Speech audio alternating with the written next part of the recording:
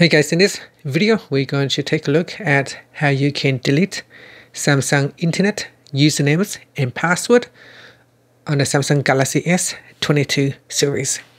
First tap on the home button to go back to the home screen. From the home screen, open up the Samsung uh, Internet Browser app. Next, tap on the menu key at the bottom. Then from the pop-up menu, tap on Settings in settings, you want to go down to the privacy section and tap on personal browsing data.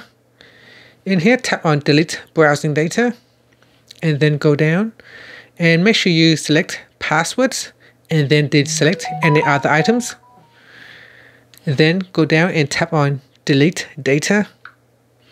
Then tap on delete button and this will remove the save usernames and password to sign into websites.